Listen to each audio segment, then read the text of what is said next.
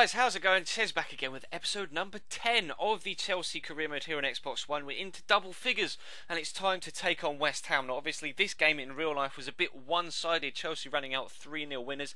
We were hoping for something similar in this game today. Now, obviously, we're not doing too well in the Premier League. As you can see, we're sat 7th with a game in hand on a few teams above us, but we do need that game in hand to try and boost our points total to get back in contention for those European spots. So, we were hoping to get a good result away at, uh, at Upton Park today, and Torres went so close early on with that lovely overhead kick. So, so close to going into that far top corner. And if it had, I probably would have just wet myself with uh, with the excitement. You see from the replay, keeper would have stood no chance. Jussi Jääskeläinen nowhere near, and it just goes an inch wide of that far post. Really disappointing, but still plenty of time left in the game to try and pick ourselves up uh, a goal or two. And unfortunately for them, they came close there, although it was a poor shot from Jarvis in the end. JT missing the header but unfortunately for the West Ham lad, he uh, he poked that one far uh, wide of the far post. But Oscar's going to get involved up the other end now, try, showing good strength actually to hold off the uh, hold off the defender. And this was actually one of the nicest moves we were able to put together all game. Really quick, flowing passing. Torres getting the extra move with his feet around the defender to power the ball into the back of the net. He's banging goals in right now, Fernando Torres. Obviously scored in the uh, in the previous episode against Zenit St Petersburg, a couple of really nice goals in that one, and he's following up with some good form here at Upton Park. Really, really nice finish. You can see again from the replay. There's plenty to aim at to the uh, Jussi left hand side, and he finds that bottom corner with uh, with great technique, and that is how we went in at half time. 1 0 up, confident as we were heading into the second half that we were going to be able to continue that run of form or that vein of form in this game. And uh, Ramires is going to be involved literally straight away after half time. Oscar with a great turn, again showing good strength, which is something he hasn't done for me so far this season. So maybe that's a sign of him progressing as a player, kind of building himself up physically to be able to uh, to deal with the rigours of the Premier League. Holds off the defender well. Really nice uh, touch and turn actually. You'll be able to see from the replay just to guide it around the defender, drop the shoulder, send him the wrong way, then pop the ball into the top corner. Jussi Jääskeläinen absolutely helpless. We were going to actually pick up a penalty here late on in the second half. Willian's going to try and have a shot there, hits their uh, hits their guy in the head. Torres goes up, wins the header. It's a tame shot, but the referee gives a penalty, and you'll be able to see from the replay. This is actually the first instance of this happening so far this year. We did have a lot of uh, a lot of instances of that in the Tottenham career mode and on uh, FIFA 13 last year at Borussia Dortmund, but the referee actually gave a penalty for handball there. That's the first handball penalty decision we've seen so far this year on FIFA 14 Next Gen. Torres puts the penalty away really, really nicely. It's just a, a simple finish, and uh, Jääskeläinen actually ends up conceding three, like he did in real life, and uh, we take three points and a three-goal win. So I was very, very pleased with that away from home, convincing display. And then we come into the next game, which is of course a game against Newcastle, which in real life Chelsea lost 2 0 in fact. And uh, how good does St James's Park look, by the way? Or sorry, the Sports Direct Arena, or whatever it's called now, with that new uh, that new promotion deal that uh, Mike Ashley signed. But anyway, we still sat seventh, regardless of picking up the win against West Ham. Although we're a lot closer to the teams above us now, which is uh, exactly what we needed from that game. But uh, they're going to be on the attack early on, and Azpilicueta is actually going to miss the tackle there. But you'll see from the replay, he missed the initial tackle, but didn't take. Uh, Remy down, and then it was once Remy crossed the ball, just the, the, physics engine action of him crossing the ball was actually what made him fall over. So he missed the tackle, but not near him. Then as Remy crosses the ball, that's when he makes contact.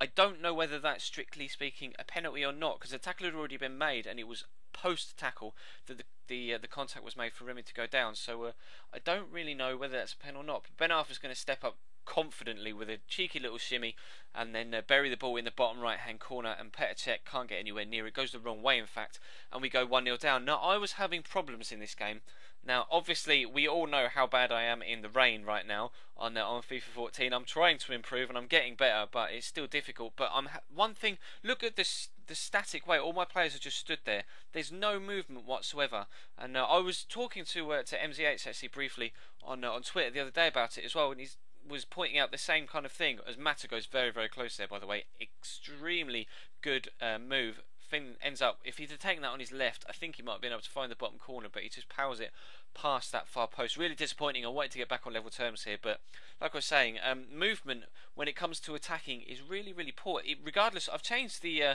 I changed the, the actual uh, in-game custom tactics to uh, to freeform, and chance creation is really high but there's just no movement amongst the players. Now I don't know whether it's because of individual work rates of the uh, the specific players I have in this squad, or whether it's just a generic issue with uh, with attacking AI as a whole in FIFA 14 on next gen right now. But I'm just not getting any movement from my attacking players. I'm trying to counter attack, and I'm getting strikers just stood there, not moving, not making runs. Even when I hit LB, they'll just make the tiniest run and then stop again. And uh, my attacking midfielders, you've got three of the best attacking midfielders in the world right now: Eden Hazard, Juan Mata, and uh, and Oscar. And they're just not moving for me. They just stood there, not making any runs. And if they do make a run, it's towards uh, an opposition defender. So they're not running into space. They're running to get marked, if that makes sense.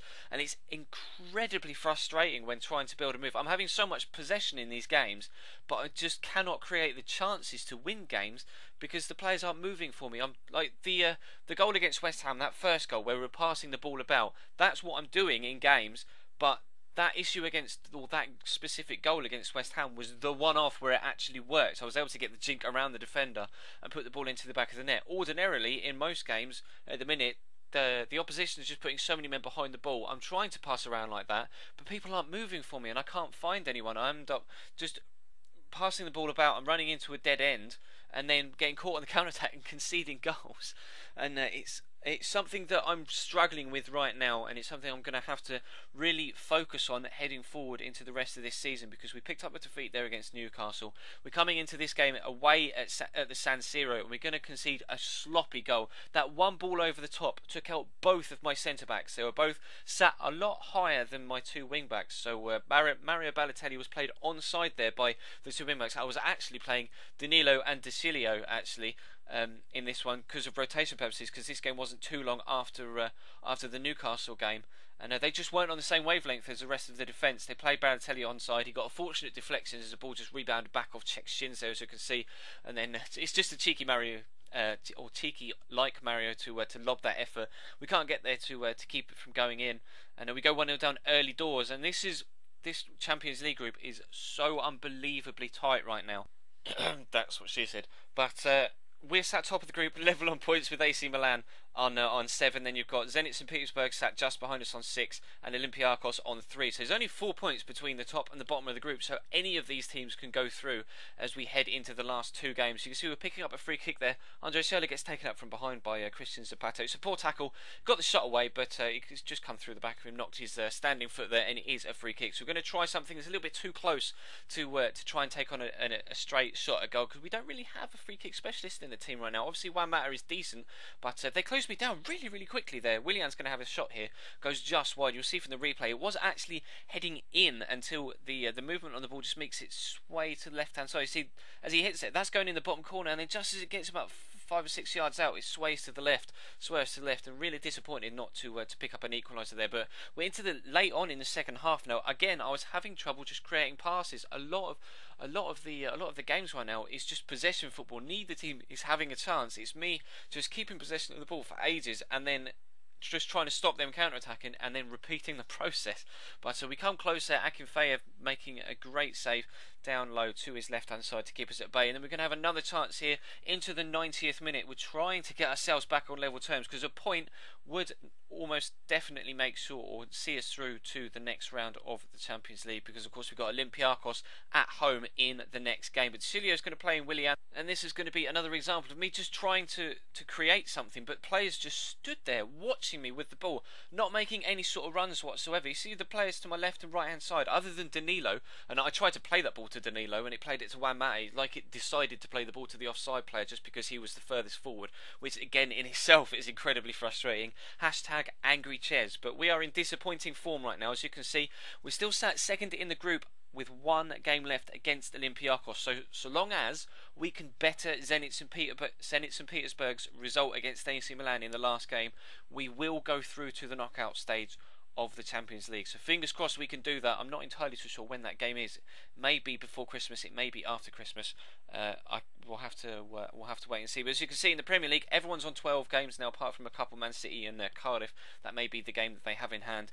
But uh, we're one point behind Arsenal in sixth and four points off the European spot. So we've still got it all to do in the Premier League. And I really am putting everything into every single game that I play. But the I'm just it's just going to be a case of fiddling with the custom tactics. I think finding something that works properly and uh, hoping that we can keep hold of the job, I guess, until we find a vein of form and a, uh, a formation or a situation with uh, with the tactics that means that uh, we actually start scoring more goals than we're conceding. We're actually not conceding that many goals at all. If you look at the, the Premier League table, we've only conceded like four goals all season, but we've only scored on average a goal a game, which just isn't good enough. So that's where we need to improve. It's goals scored, and that's exactly what I'm going to try and do from here on out. We're obviously getting closer and closer to that January transfer window. Fitness is becoming a bit of an issue, but I'm trying to keep on top of it with a little bit of rotation. We'll have to wait and see how that goes later on in the week. But that is going to bring this one to a close, guys. Thank you very much for watching. Please do feel free to leave the, leave the video a like if you could be so kind. That'd be absolutely superb. Of course, if you aren't subscribed already, then do feel free to hit the subscribe button. There will be a link on screen as well as an annotation over that little red button and a link in the description to do so. And if you missed yesterday's video, the previous episode, there will be an annotation on screen over the uh, the little snippet of gameplay to take you to that video as well. But that's all from me for today, guys. So thank you very much for watching, and I will see you next time.